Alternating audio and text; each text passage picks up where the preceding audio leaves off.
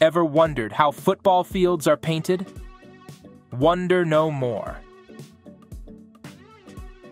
Groundskeeper Jordan is taking us behind the scenes and onto the field to see how he paints the field's outlines.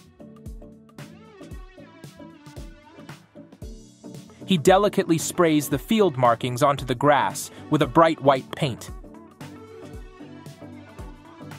It's one of the most satisfying things we've seen all day. The yard outlines are absolutely perfect. This clearly isn't Jordan's first rodeo.